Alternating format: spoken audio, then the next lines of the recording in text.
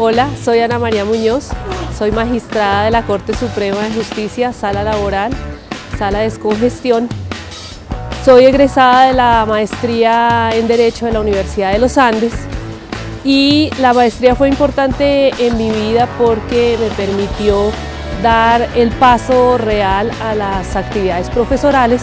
pero combinadas con las actividades profesionales eh, diversas de, dar las cátedras. ¿Qué le recomendaría a una persona que quisiera hacer esta maestría?